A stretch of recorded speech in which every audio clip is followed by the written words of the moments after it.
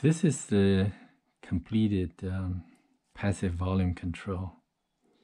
The cable is about um, a couple of feet on each side with the potential meter in the middle with the shielding box and we have a ALPS high quality potentiometer inside it's um, two channel in parallel made in Japan by the way if that that matters so I mark this I as input and the O is output. So this is from the source and this one, this end to the amp. It will be used to connect this Sony as a CD player to this uh, power amplifier directly. So we can bypass this Adcom um, preamp, even though this is very nice preamp, like uh, costs a thousand dollar or so. But I think we are going to save the money. Just do a passive volume control, which should be sufficient because we try that passive. This has a passive function and it sounds the best. Uh, so we decided to go with passive. And by the way, the passive actually is a single-ended RCA the M can do differential and this one output a differential as well. But I decided to do go with a single-ended because um, this person, the input I studied the schematic, it seems like the um, single-ended uh, input is more straightforward and give the minimum uh, loss and uh, distortion.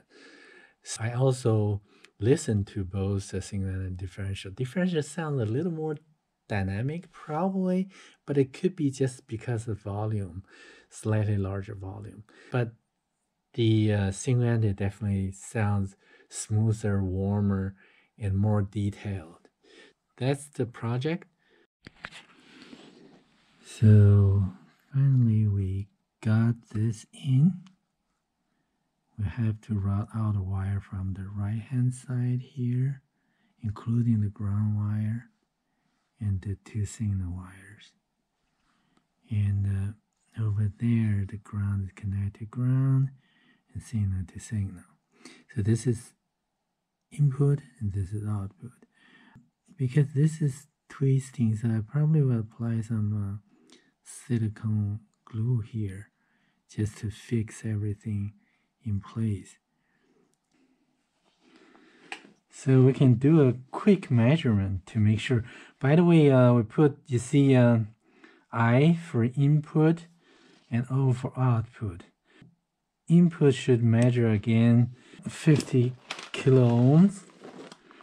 Um, as we mentioned earlier, you can choose a 100 ohm um, potentiometer should work as well. I use 50 ohm because my input impedance 50 ohm and output impedance also 50 ohm. So 50, 4998, 50, this is the input. And output should change with the potentiometer, the position of potentiometer. This is about the middle range, should measure maybe 8.4 Let's see the see the other channel. 8.2. Not too bad. Let's see uh, three quarter position. 37.1. 37.2. So very well balanced actually, very high quality potentiometer. Now we try to put it together in the back. Directly, this player, this is a Sony uh, CD player, SAD player, very high quality. And uh, the, the 5400, by the way, and the Parasound um, amplifier. So connect them directly using this volume control cable, passive cable. So again, this is the input. So we connect the input to the CD player. CD player. Right, left, and the output to this amplifier. Should right channel and the left channel. And uh, the output goes to the speaker left speaker right speaker so now we can turn them on and give it a try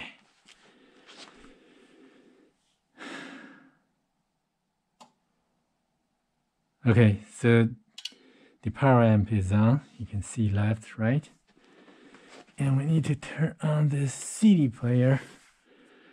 Whatever DC inside there. So this one is power off, by the way. We can turn this light. So we are only only going through passively. Make sure we turn the volume down. Don't scare ourselves. play.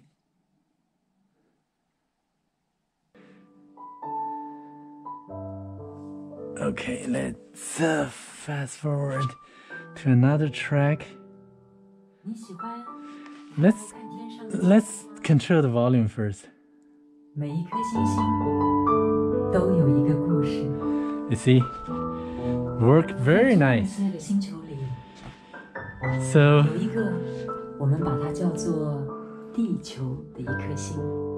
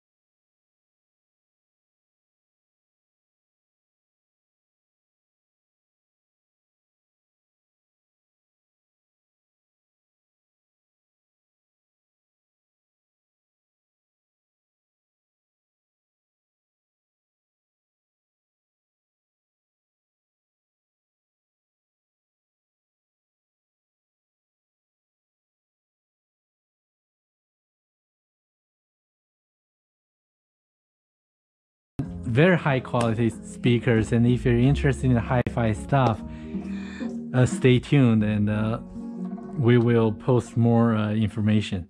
Thank you very much. Bye.